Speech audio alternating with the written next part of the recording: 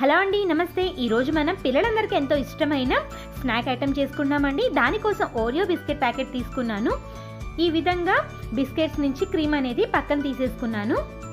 Next ఈ biscuits అన్నీ కూడా మిక్సీ జార్లో వేసుకొని తగినన్ని పాలు పోసుకొని మెత్తగా మిక్సీ పట్టేసుకోవాలి.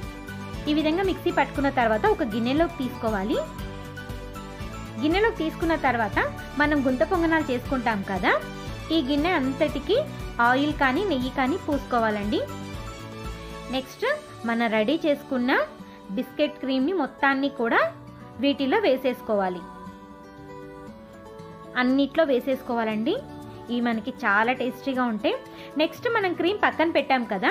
ఇవి నేను ఇలా పైన పెడుతున్నానండి. ఇవి ఫ్లేవర్ కోసం మాత్రమే పెడుతున్నాను. ఇవి రెడీ అయిన తర్వాత మనకు కలర్ కూడా కనిపించదు. నెక్స్ట్ హర్షీ సిరప్ తీసుకున్నానండి. ఈ విధంగా పైన మనం డెకరేట్ చేసుకున్నట్లయితే ఇది మొత్తం స్ప్రెడ్ అయ్యి మనకి మంచి ఫ్లేవర్ అనేది వస్తుంది.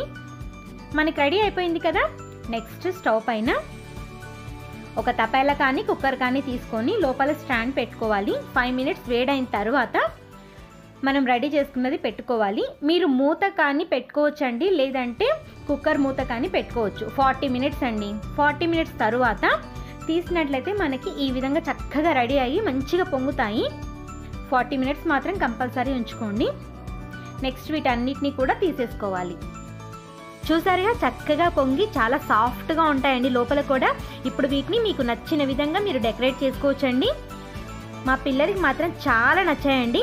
మరి మీరు కూడా తప్పకుండా ట్రై చేయండి. మీకు ఎలా వచ్చిందో కామెంట్ చేసి మీ సలహాలు సూచనలు మాకు కామెంట్ రూపంలో తెలియచేయండి. ఇంతవరకు సబ్స్క్రైబ్ చేసుకున్నట్లయితే కనుక తప్పకుండా సబ్స్క్రైబ్ చేసుకుని మీ సపోర్ట్ని మాకు తెలియచేయండి. Thank you so much